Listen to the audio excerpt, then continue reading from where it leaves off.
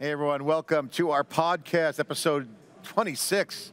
I'm John Furrier, Dave Vellante. We actually do our weekly podcast. We look at everything that's going on, the tech signals. We extract the signal from the noise. We're looking at everything. We're on location in Las Vegas for VMware Explore. We're doing the pod, podding up from Las Vegas, where we are doing the cube for three days at VMware Explore. Dave, Dave, lots of tech signals to extract this week. I mean, it's unbelievable. VMware is closing out, in my opinion, the biggest chapter in, in their company history. VMware, a tech titan, an iconic brand, closes its chapter of its storied, historic run as an iconic, legendary Silicon Valley tech brand, inventing virtualization, changing the game, changing and reinventing enterprise computing. They will be on the Mount Rushmore of tech companies, in my opinion. This is going to close the chapter. As the new chapter emerges, where Broadcom is going to take over, and we predict will cut about $5 billion worth of, of fat off the company, focus the business units on 18-month business plans. Right out of the gate, it's going to be run, run, run fast, get the numbers, review the performance, and Broadcom will do what they do. Dave, they're going to do that story, and so much more. Um, ARM's filing for the uh, big uh, NASDAQ IPO. That's going to be fun to watch. We talked about Intel last week. Maybe they could go out of business. Intel under massive pressure. NVIDIA beats huge, and that's another factor on Intel. Again, supporting our analysis last week that Intel's not only in trouble, they could go out of business. Snowflake beat a little bit. We're going to get into that. Huge story here. Do not pause this pod or leave the pod. Dave's got cutting edge analysis that nobody has, even on Wall Street. He's going to get into that. That's going to be kick-ass. Palo Alto Networks beat, but they're kind of a head fake according to, to others like Dave who would think they, they're announcing on Friday and then they beat huge. So Many thought it was going to be a head, head fake, so Hugging Face got financing. That's an AI world, massive funding, all the big names in there. Amazon, NVIDIA. Salesforce. Salesforce, $4 billion valuation. AI madness continues. Dave, so many signals in this pod and we're, we're going to go as long as we can. We're going to get kicked out of this place. They're going to pull the plug on location. We'll get it all in.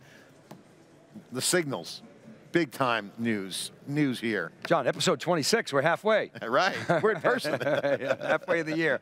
Yeah, so the big news here, of course, you know, the three big vectors, Broadcom, multi-cloud, and AI. You know, John, I mean, look around, it's beautiful. Yeah. Set, they have the hub area. I mean, it's yeah. just gorgeous, the branding maybe the last time we see some, some something like this. This is the last chapter in the history of VMware as we know it. I mean, Broadcom is going to remake the company. I, I think VMware right now is poised to, if if they do what their story is executing uh, to that story, they could be go to a whole nother level. Remember, VMware was supposed to go out of business when Hyper-V was a free hypervisor because their core business, the hypervisor, the virtual machines, was threatened. They turned around and invented hyperconvergence or jump on the hyperconvergence wave, and boom, they got vSAN, they got uh, killer products, and then they go the next level, and then more stuff comes up. They got smart engineers. VMware is good, and this is the close of a chapter of an iconic Silicon Valley run, startup, growth, takeover, drama with EMC. Joe Tucci gets a bargain for half a million billion dollars. Michael Dell gets involved. Just this VMware cash cow and growth engine has a historical run. This is the closing of a chapter. Yeah. And a new one opening. By the way, it could be another great chapter behind it, but it's not going to be the same. No. It's, it's, over, and it's, it's going to be a the much, new VMware's coming. It's going to be a much more focused company. I mean, as you said, you know, they were they had product-led growth early on, where they were consolidating servers in the data center and saving tons and tons of money. It was actually amazing at the time. First time I ever saw virtualization in action. It was just incredible, yeah. and so that gave it a big, big boost.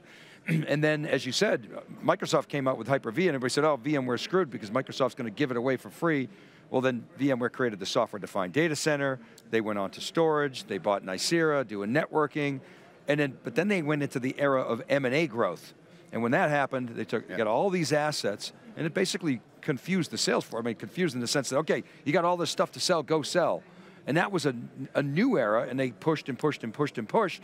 You know, not all of it was pay, was paying back, and now we're entering you know, the multi-cloud era, the Broadcom era, and it was very clear. Broadcom's yeah. going to focus the R&D on the core, vSphere, VMware Cloud Foundation, and multi-cloud, and you know, we'll see about AI, right? They got a lot of work to do in AI, but the future is going to be much more focused with, yeah. with, with uh, R&D at the core. Let's talk about this next chapter. Hock Tan came, was in person. Some said he wasn't going to be here. He was here and then he did the video. He didn't present, just showed a video, this pre-stage video. Um, but what's interesting is, is that, you know, and you wrote a post on SiliconANGLE, everyone should go read, VMware's Future, Navigating Multi-Cloud Complexity in Generative AI under Broadcom's wing, basically telegraphing what will happen to Broad, with Broadcom taking over VMware. I think you nailed it. You have a graph in there that talks about the numbers. But I want to call something out on that to look at that number. VMware's a software company. Broadcom comes from a semiconductor route. Oh, you know they have computer associates, uh, which is going to be a big help, by the way, for the VMware integration. The fact that they got some that CA people in there, that's going to be big. But revenue per employee is something that you pointed out in that chart, and Broadcom's got great numbers. Hardware companies talk revenue per employee, not profit per employee. So I think software staffs staff differently. So yeah, but so, but Broadcom is more profitable than VMware. So I'm just saying, I want to add a new metric to that. I'd be curious to see what the profit per employee. I don't know if they break that out, but but but it's hard. Will can Broadcom accept the software? Because sometimes you overstaff in software, Dave. Yeah, but look. So uh, so but but you know VMware. Uh, hold on, that's what I'm saying. Just hold on for a second. Let me finish that point. More software. Software looks different than hardware. Now, uh, Broadcom's, they're not dumbasses over there. They're smart. The people over there that we talk to and we interview, they're all smart. Broadcom's got great people, that's why they're so successful. What they do with VMware will be really very interesting to see how they handle this. Okay, but so Broadcom actually looks, their financials look more like a software company than a hardware company. You know, it looks like kind of the old Intel when Intel had the monopoly. Intel had like 65, 68, you know, 69% gross margin. That's what Broadcom's gross margins are. Now, now, VMware as a software company has you know 80, 80, 81% gross margin. Okay, fine. But when you look at EBITDA, I mean, Broadcom's EBITDA margin is 58%. It's more profitable than Microsoft, more profitable than Oracle. VMware is really profitable at 25% EBITDA, EBITDA margin. But the free cash flow is insane. Broadcom has free yeah. cash flow margin. Nearly 50% of its revenue Think about this, they're a $34 billion company. Nearly 50% of its revenue, 49%, goes to free cash flow. Yeah, it's amazing. And that's and, what and, and VMware's 29%, which is really good. That's good too. you know, but but but it's going to get better. but to your point, they've got Broadcom's got 20,000 employees for 34 billion dollars in revenue. VMware has 38,000 employees for 13 billion in revenue. So Broadcom's going to that, bring that into balance. That's where the math works. So you look at that's the that's the math equation right there. That's how you get to the five billion takeout uh, of, of, fat. Now, fat, I use that term fat, that's, that's a pejorative term. That means like people that aren't going to contribute to the new model. When I say take out the fat, I mean they're going to cut the fat from a Broadcom standards. Broadcom's said from day one, they never changed a word. They said they're going to do it. You, you called it out on the first post. We discussed it on the podcast, actually. They're going to do what they're doing, and they're going to look at the numbers. They're going to get this thing as a humming machine. They're going to get this thing humming. They're going to tune the engine. They're going to get the cash flow up. They got the profit there. When they start making these changes with the fact they're going to cut a lot of billions of dollars out, they'll give a billion dollars back in R&D, a billion back to the ecosystem. So they're still up three billion on the cut, but they're going to make it efficient. And so it reminds me of that movie in the Game of Thrones, um, the scene in the Game of Thrones, that famous scene where the, the running game where they got the, the, the, the, bad guy says to the brother, run to your brother. And he shoots arrows at him, he's dodging. And he, he didn't, we're all yelling at the TV, weave. Serpentine, Shelley. weave. So the run game is going on right now. And what's going to happen with Broadcom is going to say, look it, we're going to cut all the fat. You guys got a great business here. The numbers are good. You pointed that out. Run and show some numbers. So build a plan.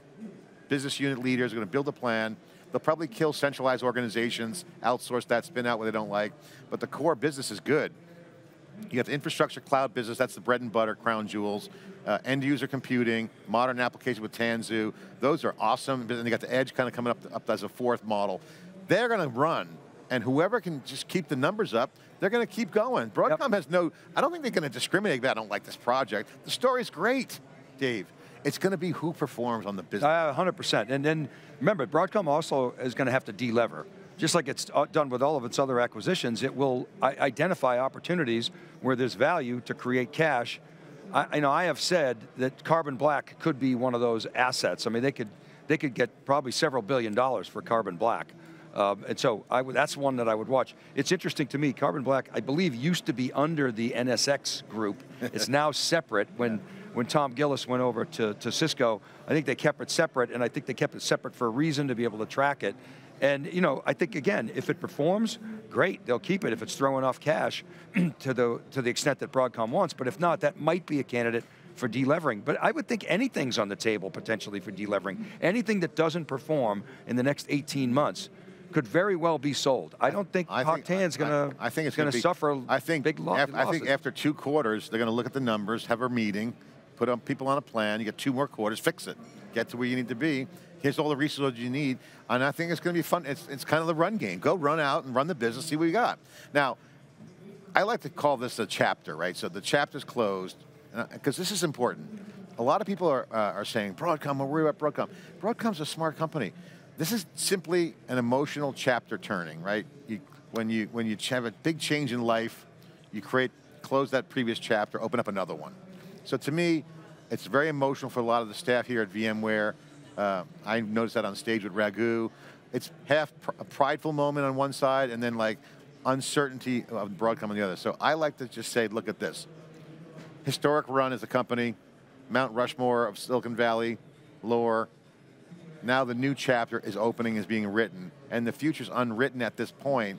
And I don't think there's any nefarious goals from Broadcom other than get the numbers up. So I think it's going to be interesting. I don't think it's going to be as bad as everyone thinks. I think, yeah, cuts are bad, but that's going to just get the numbers in line. If the engine is going, the profit, Dave, then VMware has a great opportunity. They've simplified a lot of stuff. They kind of cleaned house a little bit. They're at the they're at the start line. You know, the, the bell gets rung and the horse is going to start and- start and think- running. And I think the other thing is, and Keith Townsend said this, I think he's absolutely right, is Hock Tan's probably looking at it saying, I don't need to have all these people to support the customers. I want to focus the, our energies on R&D and the roadmap. Let the ecosystem support the customers. Let the consultants out there build their own businesses and, and share the wealth. He, he totally understands the value of that ecosystem. He said he's going to invest in that ecosystem. As we know from, the, you know, we're doing the, the, the, the late night crawls, the, the ecosystem's very excited. They're like, hey, I want a piece of that billion dollars. Yeah. And so there's huge opportunities for, for consultants out there. Final point on VMware Explorer before we move on to some of the other, other stuff that we're going to get into is Hugging Face just announced financing. That basically continues to put an exclamation point on the fact that the AI madness can continues. Um, big names are financing it: Amazon, Snowflake, uh, Amazon, Nvidia, Salesforce, hundreds of millions of dollars more. It's just incredible, great, great success. It points to the confidence and the enthusiasm for AI. Here at here at, at VMware Explorer and for VMware as a company, this whole generative AI thing is a gift um, to the industry, I think. And and and I, I gotta I gotta say, you know, there's always that expression that Pat Gelsinger used to have: never never waste a crisis to make it an opportunity. Well, this isn't a crisis. This is a gift horse, Dave. AI just fell on the lap of the world, and the companies that are seizing it are doing well. And the ones that understand it are doing extremely well. The ones that are mastering it quickly are going to be the winners. Okay, so and the ones that are poo-pooing it, they're going to be out of business. I'm telling you, this is important. Even Raghu, who's, who is super smart, highly respected software engineer, he's like a kid. I, I, when I remember I used to say, I, wish I was 25 again, Dave. I remember that we, when we started Yeah. talking about AI. Everyone has that same vibe. It makes me feel younger. It's like a fountain of tech youth for uh, older guys like us and uh, experienced operating system developers or other developers. And it's for the youth, it's a, a clean sheet of paper, okay, to build new brands, new, new assets, new models, new companies. I'm telling you, AI is legit. Generative AI is going to have a huge impact. So VMware gets it. They're not AI washing, but they're being very smart about saying we're bringing AI into everything. We're not. We're not going to A wash. We're going to AI wash anything. We're going to just start building it into stuff, and that's what I like about VMware. Again, they're smart.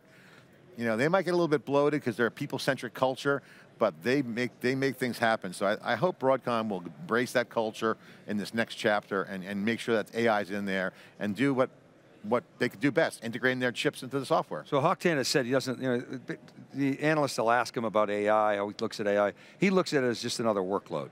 Okay, so he's not like something that necessarily is going to get, you know, monetized directly, although it is going to provide a, a platform for more sales of the core. And I think that's, that's going to be the key. So I, I think the, I don't see VMware like being an AI company per se. I see them being as infrastructure to support AI workloads, and so I think it is a rising tide that lifts all boats. And then the other big thing is their multi-cloud strategy. They are betting that multi-cloud is new incremental growth, and Tanzu is a key part of that. And so, you know, we.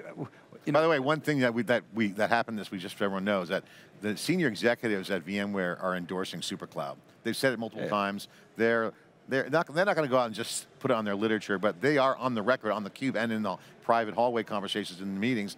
They're endorsing. They think SuperCloud's the runtime aspect the multi-cloud. Yeah, so and, and, Tanzu is the is the glue there, but you know we're going to have to see adoption, or that may be on the chopping block. but anyway, I know we got tight right, Let's get into there. the earnings. So ARM's going public. We're not. We were, we'll talk about that next time. Let's get into the Snowflake earnings because um, and Palo Alto Crush again. Congratulations to Palo Alto Networks.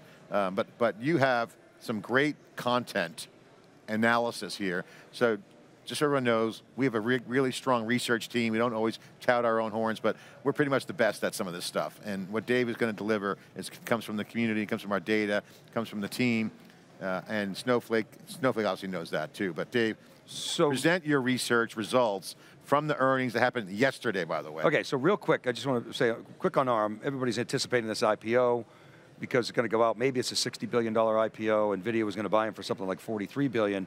The reason it's people are excited about it is because it'll hopefully open up the IPO floodgates, but the, I'm looking at the F1, and I'm not blown away, frankly. They're not growing. I mean, they're $2.7 billion last year in revenue, $2.7 billion this year. You know, so we'll see, and 58% of its revenues comes from like five or six customers, so highly concentrated. And so we'll see. And then NVIDIA, before I get to Snowflake, blew away its revenue and earnings forecast. It, it beat it by, it beat by 2 billion. So it was 100% growth, and it did 13.5 billion. They guided next quarter to 16 billion, which the consensus, John, was like 13 billion. So they're on fire. Here's why I bring this up.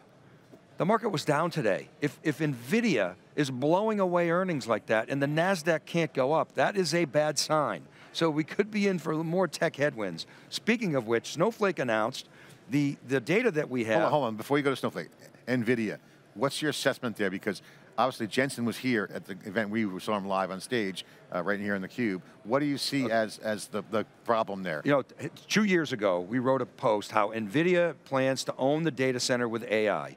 And in that post, our premise was there is going to be a massive shift from general purpose workloads to AI workloads. And like a huge, huge percentage of the data center, like 30% is going to shift.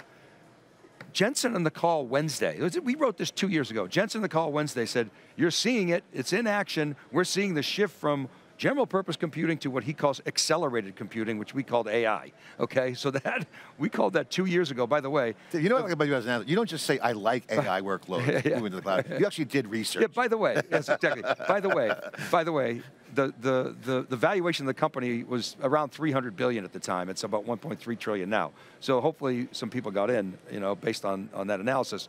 And so, but, but, but speaking of headwinds, so Snowflake announced they beat earnings, they beat consensus by maybe two and a half points.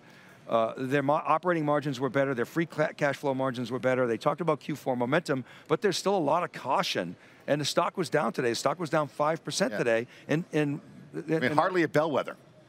That's not a bellwether. A bellwether would have moved the market the other side. Well, same thing so with what's NVIDIA. Going on? What's the underlying but, condition? But same thing with NVIDIA. NVIDIA's a bellwether. I think we, the market can't move, that the tech can't go up on NVIDIA's earnings. We have to get into You know, when can, when can it go up? All right, now let's get so, into Snowflake. So here's the, here's the data. Snowflake is interesting, and this is yesterday's earnings call. No one got this. No one's even talked about it or reported it or even highlighted okay, but, next but, but we, and it's not, not, just, not just me, it's our team, it's the whole you know, collaboration we have.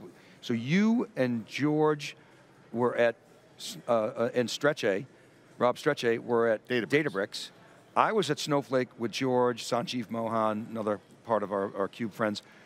And we talked to customers and they said to us at the time that they're doing a lot of their data engineering and their data prep outside of Snowflake because it's too expensive. And we're like, hmm, that's interesting. Databricks obviously crushed their announcements. And we started to dig into that and, and a couple other data points here. One is the ETR data shows that customers, and this really surprised us, when, when customers are asked, what's the number one bill that you're most concerned about in cloud? It wasn't EC2 compute, it wasn't storage. You know what it was? It was database. And we said, holy crap, I wonder if there's a lot of Snowflake customers in there because Snowflake bundles AWS costs into its revenue. Databricks doesn't.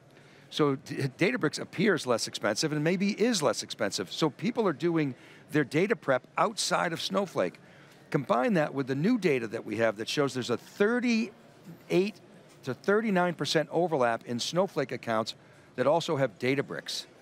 Okay, so because of that high overlap, the large customers are, I think, doing their prep, their data prep based on the information we have outside of Snowflake, and that's muting Snowflake's growth. I talked to Frank Slootman about this. He said, Dave, it's cheaper to do it inside of Snowflake because you get the whole benefit of all the governance and you don't have to go outside to do all this other stuff.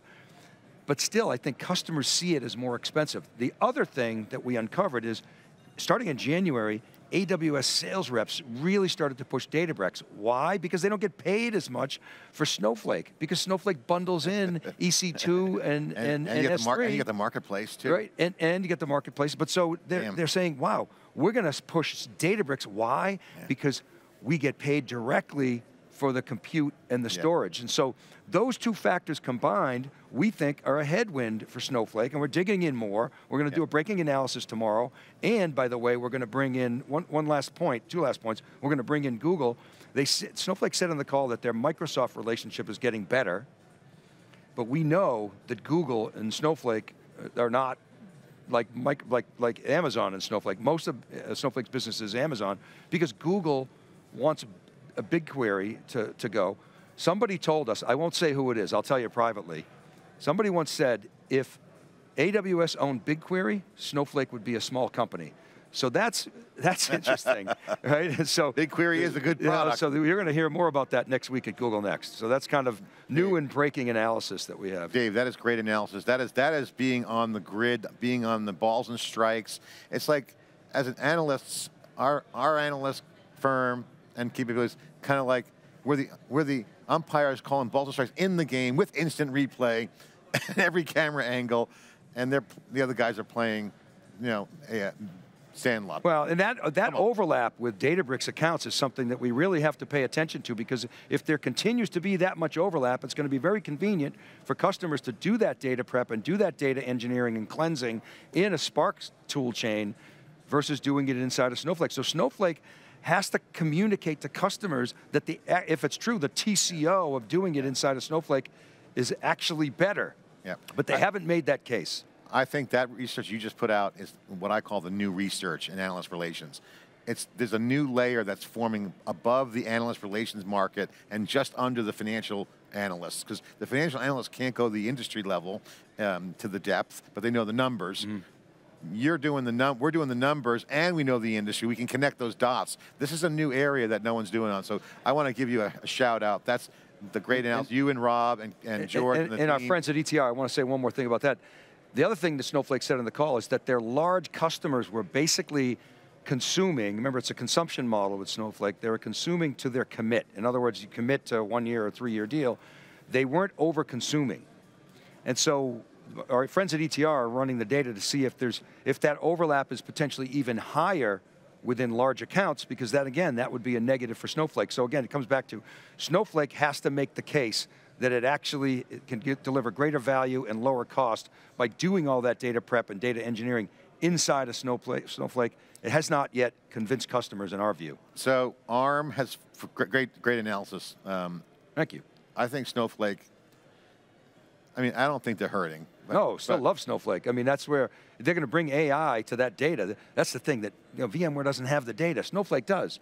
So they can, quote unquote, bolt on AI and succeed. Instantly. right, yes. Instantly, yeah. Databricks is already there in AI. Yeah. Snowflake, Jensen said, we are going to like supercharge Snowflake. Yeah, and the thing about the, um, the um, Databricks and Snowflake in particular, and Databricks, they had that lake house. They were so smart by building that lake house model because now the, the lake house data lake is the AI lake, right? AI is, that's where the AI will thrive. And the learnings that come out of the data iterations just is a flywheel. And I think- Yeah, you I, were there. I mean, provide your analysis. You guys did great analysis coming out of Databricks. Well, I think there's a lot of, first of all, Snow, uh, Databricks has a lot of, they showed a lot of demos of what I would call, I won't call them vaporware, that's an old term in the old school, but they were showing early code. But it was, it was good code it was great code because they showed what they wanted to show, that they could use the data to give the customers the not only the enthusiasm to continue to use the, the, the, data lake and the lake house, but to also get them confident that they could actually be successful. Okay, the, the combination of enthusiasm and confidence is the highest form of attitudinal win in marketing. And, and, and Databricks laid it out. Snowflake won that early on, Yeah. but the thing about Snowflake is if they don't flex their structural tech product platform with the market needs, if they misfire on, say, an assumption like data costs, moving costs or data around, that could hurt them. And, and if I'm a customer, and if the perception that I'm going to pay more, or I don't, know, I don't know what's around the corner from a cost perspective, I, if I can't see it, I don't understand it, it's easier just to be take the nerves away and go to Databricks and do the prep there. So I buy the logic, and I can see someone doing that.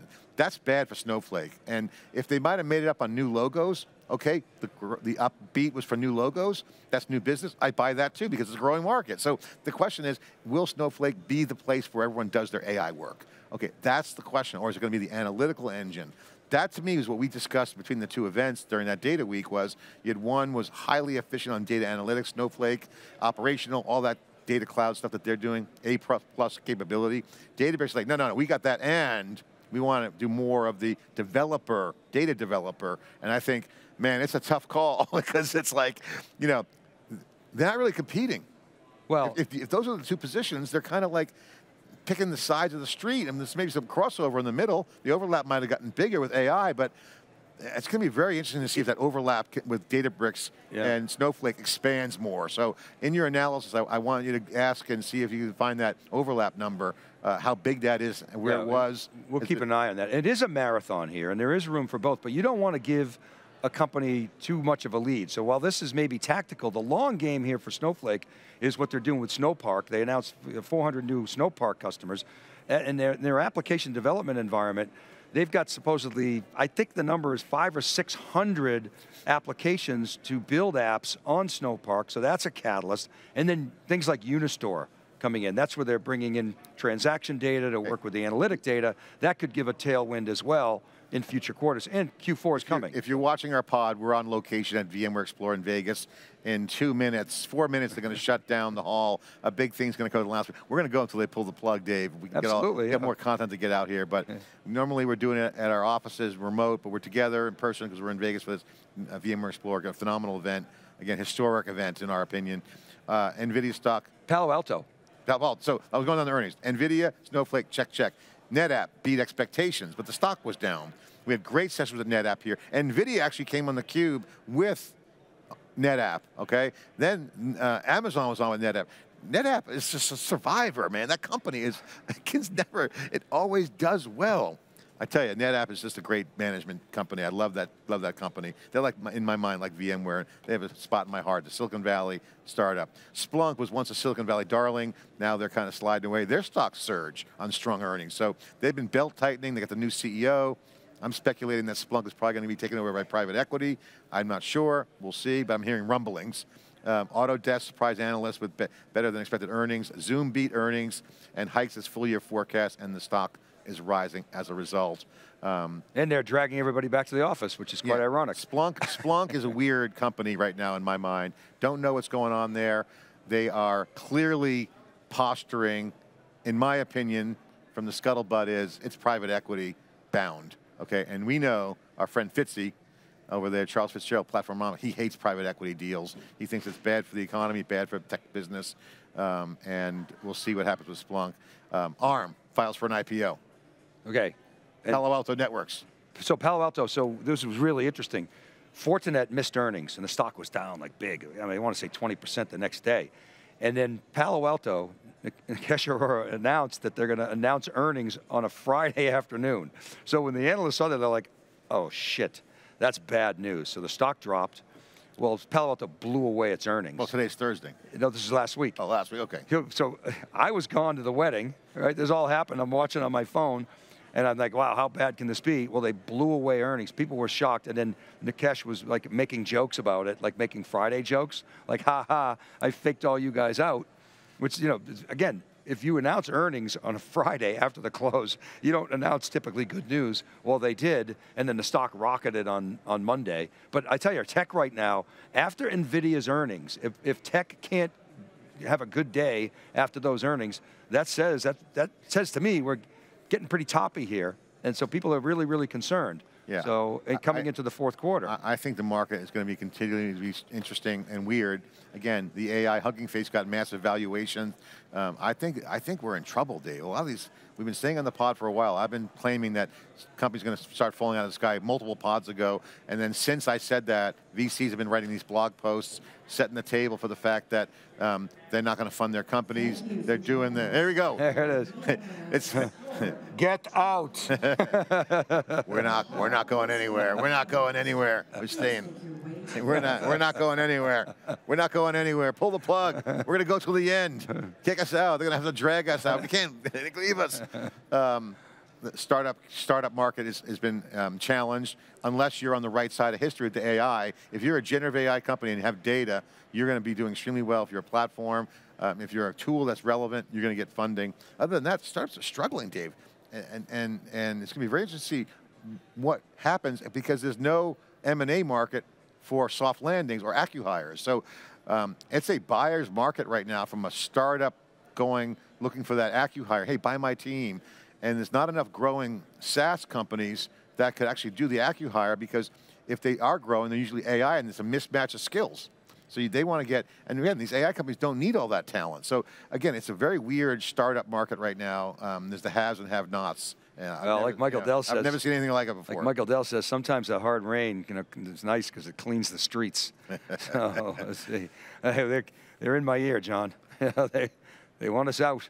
So are you going to buy on the ARM IPO? I mean, I, you know, I, am not like overly excited about it. Uh, people were asking me, you know, should we buy, a, a, you know, the open? And I would never, by the way, I don't ever think it's a good idea to buy IPOs at the open. I think you, you always get a, a, a, better opportunity to buy in. It's almost always the case. I, I don't, you know, to me, I mean, it's a company, is like, I love the business. I love the fact that they have a license model. They got like 98% gross margin, but it's not a growth business. And um, it's changed the industry and uh, SoftBank's going to make, uh, you know, it a great trade for them. It's too bad that NVIDIA wasn't able to capture them from a U.S. competitiveness standpoint. But, um, you know, I'm not overly excited about the IPO. I love the company. I think it's great that they're going to now be in the public domain. Uh, and I, you know, I'm, we're very, very high on ARM and, and the whole ecosystem. But as far as a, a business model, I think it's, frankly, I think it's going to be overpriced if they go out at 60 billion. Uh, yeah we talked last week about Intel's prospects. ARM you know, in Intel, that whole thing is just well so disruptive to Intel yeah. because it's, it's basically this license model. They don't make anything. They use TSMC. Their wafer volumes are 10x those of x86, and so they're killing it on the economics. All right, what's your rant section this week? What are you going to run? Lina Khan's not in the news, so we can't. Uh, no, rant. no the, my rant section is okay. So Broadcom, they got approval from the EU Competition Markets, you know, uh, uh, uh, uh committee and the US FTC just chose not to comment. Instead of saying, yes, we approve, they just let the statute of limitations or whatever you call it expire. So they approved by not saying anything. All right. So that's like just a, that's a big fuck you to, to, to big tech. We're not even going to comment. We're just going to let you hang out and wait. And then after the deadline expires, well, I guess by default, that means we've approved it. So, yeah. I mean, that's just so rude. it's so anti-business. What's the fine?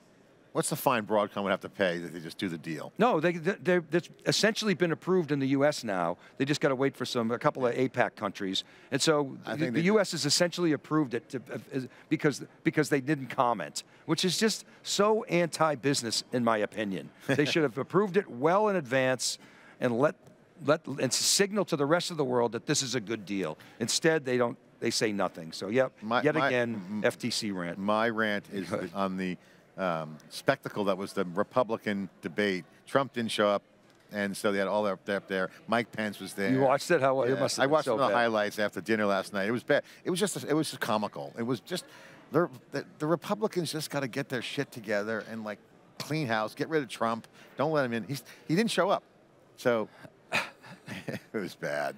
Oh, uh, Nikki Haley looked pretty good.